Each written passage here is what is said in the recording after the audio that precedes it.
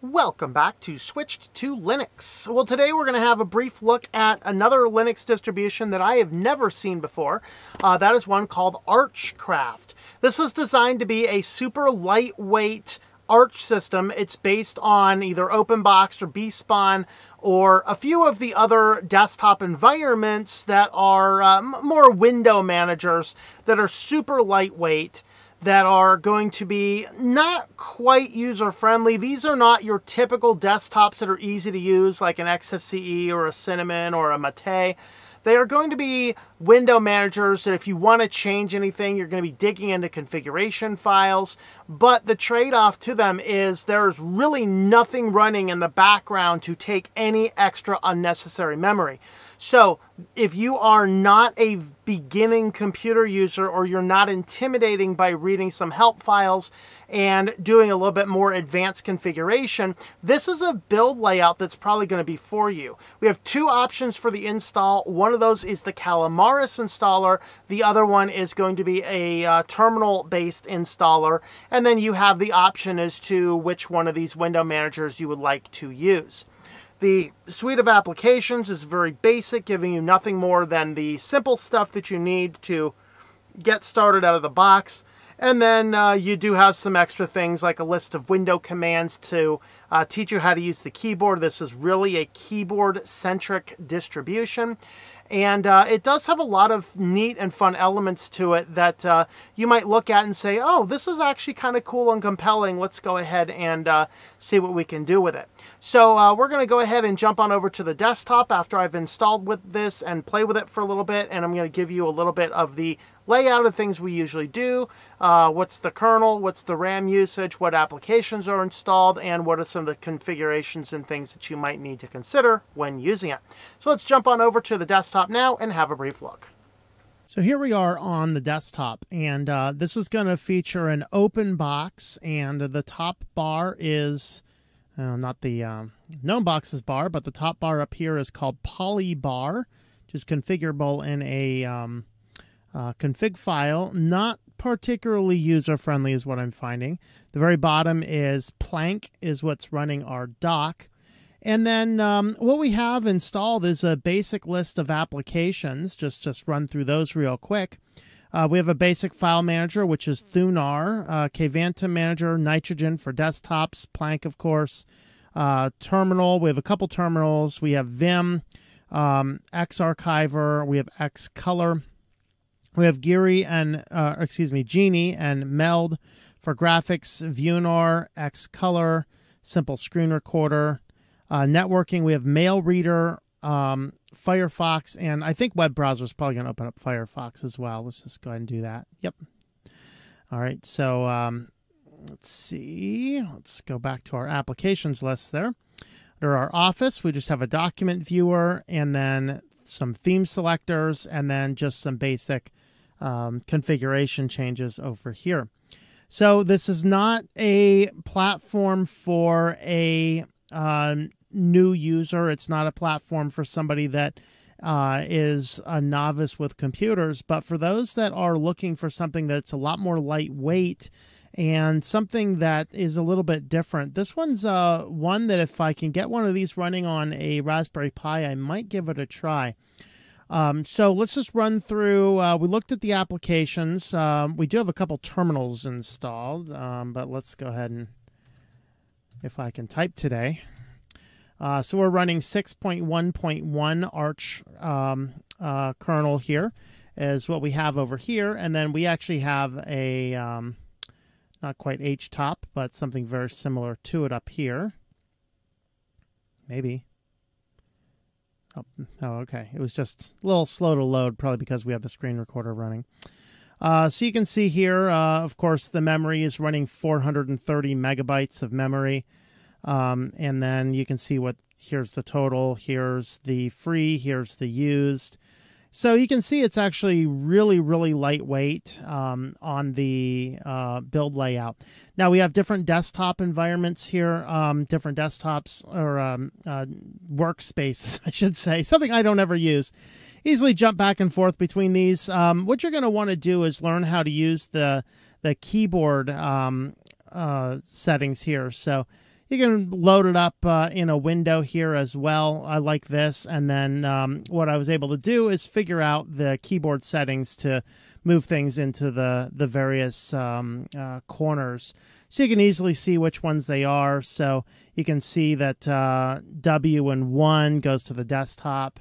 So those are actually um, uh, the no number pad buttons there. Uh, but then uh, using the number pads up top with the Windows key is going to give us our different desktop options.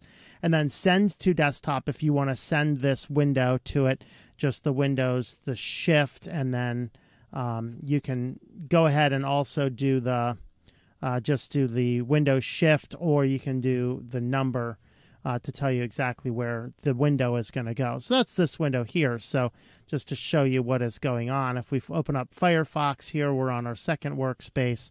And then here's our first workspace, third and fourth workspace. But if I want to move this around, I can go ahead and do that. And now Firefox is going to be moved over.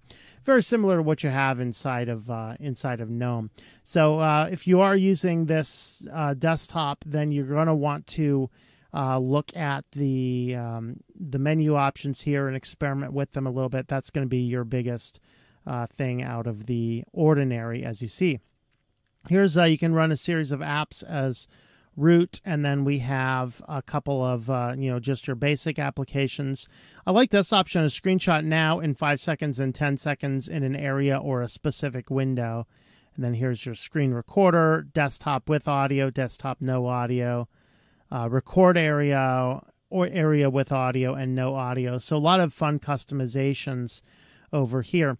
Um, and then inside of your preferences, uh, we have a lot of things. Now, the, the downside of this layout is everything is done by actually editing the config file. So you're going to need to read through the documentation and learn how all of this works in order to make the the changes that you might want to make to your system. And then once you do that, it should be fairly easy to do once you have it figured out.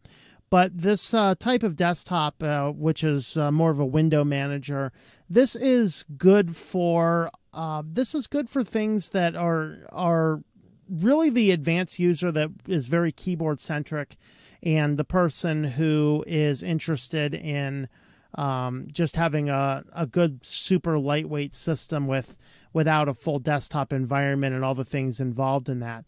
That's why kind of why I'd like to uh, go ahead and uh, maybe play around with this a little bit, see what I get. Let's see, can I open up multiple instances? Yes, I can by with the middle click there. So uh, I can um, I can grab these guys here like this, and then I could do. Let's see. Oh, it's these buttons I was looking for. So let's do that. So you can stack things up and down like that. And then you'll notice that there is this gap between the the window here. That's actually configurable in one of the in one of the settings.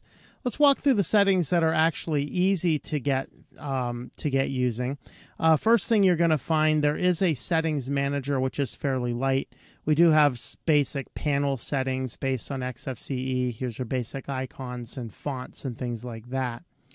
All right. Um, we don't have a ton of other settings that you'll see fairly uh, fairly absent in the various uh, options that you have. Inside of OpenBox, we have a settings for OpenBox.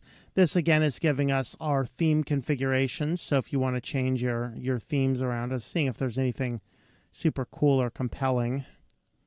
Uh, maybe let's go with that one there. That's a little bit better.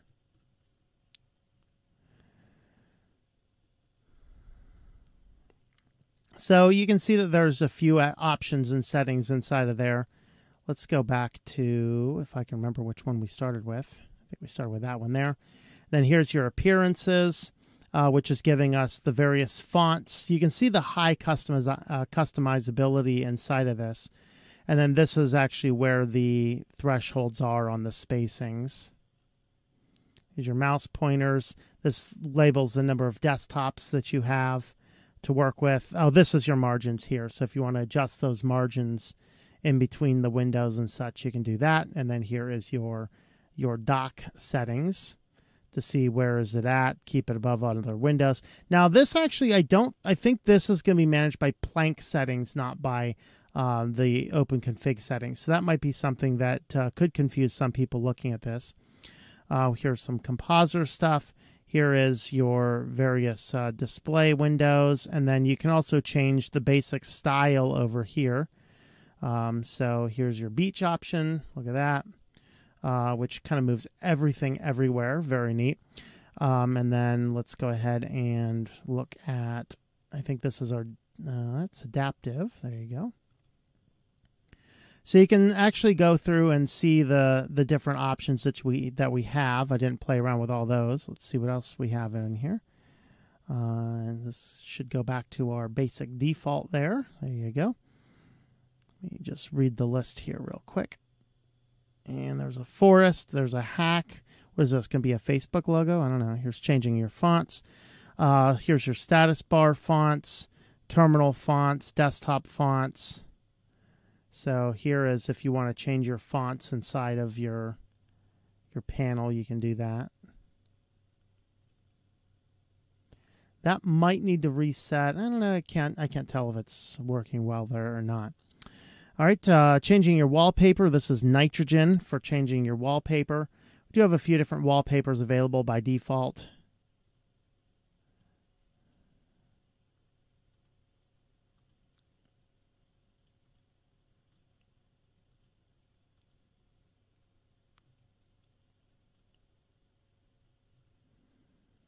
And let's just go back to our basic default there.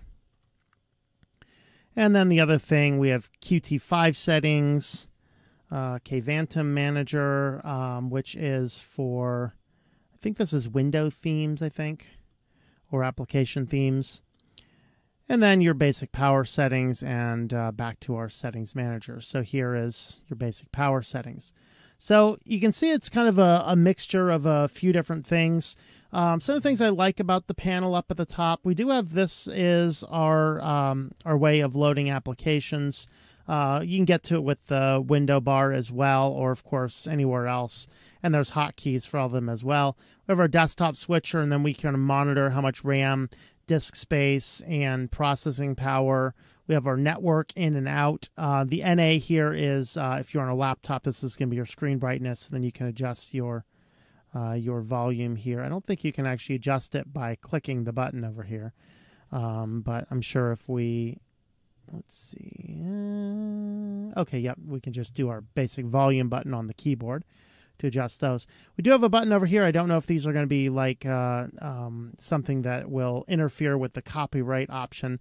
Just push this guy here and it's going to cycle through a variety of, um, oops, wrong button.